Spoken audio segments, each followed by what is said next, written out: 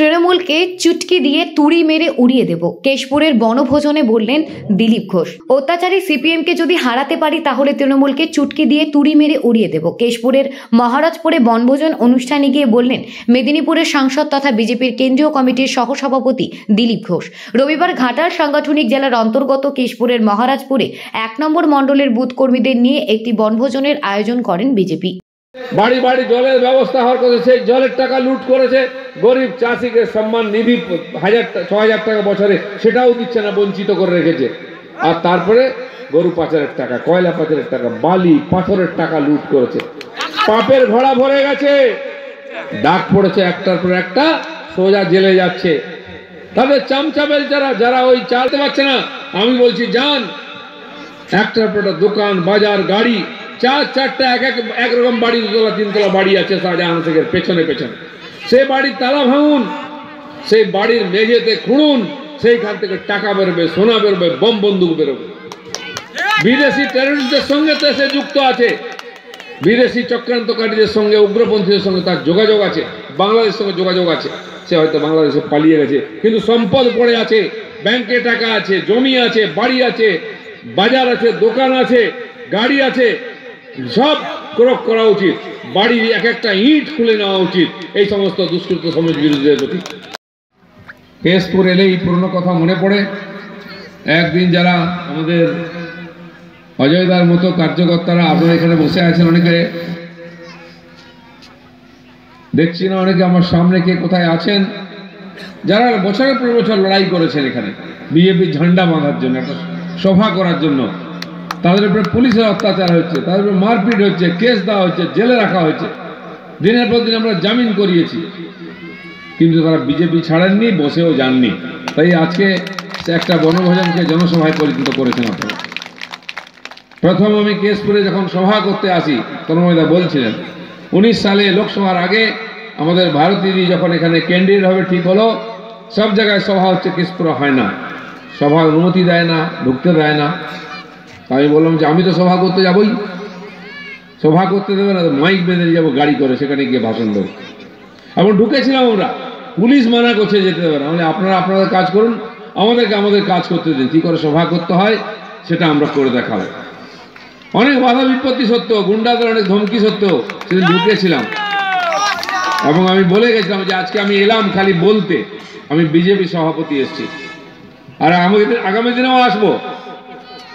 যদি কেউ বেশি বাড়াবাড়ি করেন কর্মীদের গায়ে হাত দেন, আমি কেশপুরকে শেষপুর করব বলেছিলাম। গুন্ডা দিয়ে ভোট করা হয়েছিল। তবু আমি বলছি, এই বিধানসভার বেশিরভাগ বুথে সেদিন বিজেপি লিড নিয়েছিল, প্রায় একশো সাতান্নটা বুথে। টিএমসি আমাদের চেয়ে কম বুথে লিড নিয়েছিল। কিছু এলাকায়, সংখ্যালঘু এলাকায় এবং সেই ভোটটা ওরা জিতেছিল। সত্যি বলতে গেলে বেশিরভাগ বুথ আমরা জিতেছি। এই অঞ্চলের এক দুটো বুথ বাদ দিলে সব বুথ আমরা লিড নিয়েছিলাম। আবার বলে দিচ্ছি, এবার লোকসভা ভোট চব্বিশে হবে। আবার পদ্ম ফুল ফুটবে।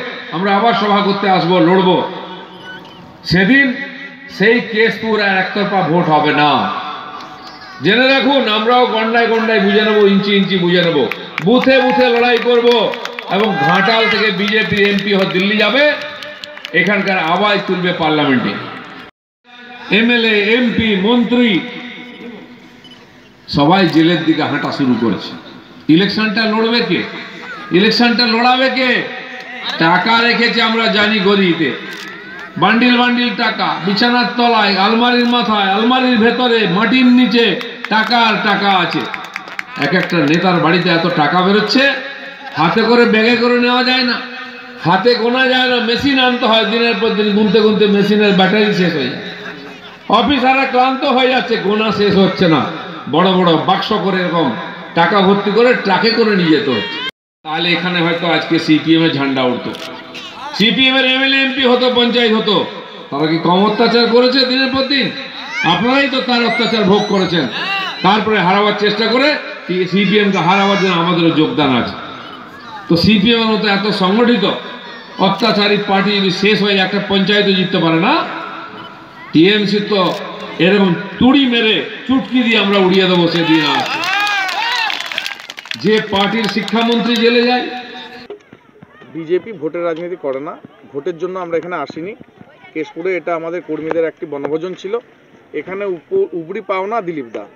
দিলীপ দা এসেছেন, আমাদের সাথে কিছুটা টাইম কাটিয়েছেন। কর্মীদের জোশিলা বক্তব্য দিয়েছেন, এইটুকুই যথেষ্ট।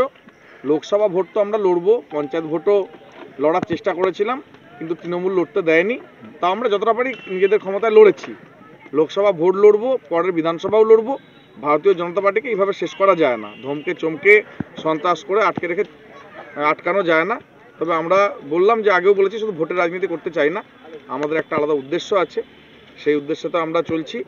তবে লোকসভা ভোটের প্রস্তুতিও বলতে পারেন বনভোজনও হতে পারে এবং কর্মীদের সাথে দেখা করাও হতে পারে। কেশপুরে তৃণমূলের ব্লক সভাপতি বলেছে কেশপুরে বিজেপি বলে কোনো বস্তু নেই। বিজেপি বলে বস্তু নেই নাকি? আজকের যে সভা হলো আমাদের কর্মীরা এসেছিল এখানে তাকে সেগুলো দেখান না। যদি বিজেপি না কোনো বস্তু থাকতো আর বিজেপি তো অ্যাকচুয়ালি কোনো বস্তু নয়। তো ওনার একটু বুঝতে অসুবিধা হচ্ছে। অ্যাকচুয়ালি তৃণমূল দলটা চলছে এখন পুরোপুরি টাকা তোলা এবং দুর্নীতির উপরে চুরি- চুরির উপরে চলছে। ওদের মেন মেরুদণ্ড শিরদাঁড়াই হচ্ছে চুরি করা। তো ওরা এর বাইরে কোনো কিছু জানতেও পারে না, ওদের কোনো আদর্শ নেই, নীতি নেই, কোনো কিছু নেই। শুধু চুরি চুরি চুরি করে। তো এদের সংগঠন কি জিনিস ওরা জানবে না। এবং কেশপুরে বিজেপি আছে না নেই, সেটা লোকসভার পরে ওনারা বুঝতে পেরে যাবেন। ফ্ল্যাট বুকিং চলছে। আজই যোগাযোগ করুন গীতা কনস্ট্রাকশন, বি দশ বাই দুশো উনপঞ্চাশ near central park Kalyani. Booking চলছে কল্যাণী বি টু বাই দুশো একুশ, বি টু বাই তিনশো বারো, Kanchrapara, Ghatak road, Satish Nandi road, Lok cinema, Chandmari road Lichubagan Siraj Mondal road, Tiktiki Bazar Milannagar Aguripara Rajanibabu road, Nipen Sarkar road, RP school, Naihati ছ নম্বর gate, Bijoynagar, Bhatpara, Rupashree hall, Halisahar, Rajmahal housing estate. আজই phone করে বিস্তারিত জানুন Geeta construction six two eight nine zero six three five five seven nine eight three one four seven eight seven nine five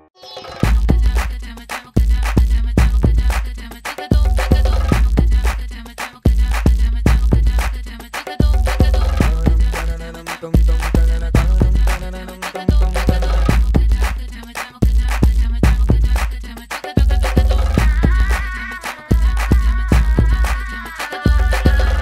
অ্যাপ্লায়েন্সের যত জিনিস আছে, সবই পাচ্ছেন খুবই কমের মধ্যে এখন সিক্সটি পার্সেন্ট অফ চলছে। নয়ারটি গৌরীপুর চৌমাথা এটা পড়ছে কেসি লাইট হাউস আছে। আগামী চোদ্দই জানুয়ারি কমল সাথী নিউরোসাইক্রিয়াট্রি ক্লিনিকের আয়োজনে সাথী রায়ের চতুর্থ মৃত্যুবার্ষিকী উপলক্ষে সাথী রায় মেমোরিয়ালের পক্ষ থেকে একটি ফ্রি হেলথ চেক আপ ক্যাম্পের আয়োজন করা হয়েছে। কল্যাণী মেইন স্টেশনের নিকটবর্তী কে এম ডি এ দ্বিতলে চোদ্দই জানুয়ারি রবিবার সকাল এগারোটা থেকে দুপুর একটা পর্যন্ত চলবে এই স্বাস্থ্য পরীক্ষা শিবির। স্বনামধন্য বিশেষজ্ঞ চিকিৎসকের উপস্থিতিতে বিনামূল্যে জনহিতকর স্বাস্থ্য পরিষেবা প্রদান করা হবে। এখানে থাকবেন ডক্টর অভ্রনীল ধর, জেনারেল মেডিসিন এবং এন্ড্রোক্রিনোলজিস্ট। ডক্টর বিশ্বজিৎ সেন, শিশু রোগ। ডক্টর ইন্দ্রজিৎ চ্যাটার্জি, নাক, কান, গলা। ডক্টর সুপর্ণা রায় চ্যাটার্জি, মনোরোগ। ডক্টর সিদ্ধার্থ মল্লিক, দন্ত। সুতরাং আর দেরি না করে বিনামূল্যে স্বাস্থ্য পরিষেবা পেতে নিজেদের নাম নথিভুক্ত করুন। নাম নথিভুক্তের সময়সীমা পয়লা জানুয়ারি থেকে তেরোই জানুয়ারি দু হাজার চব্বিশ।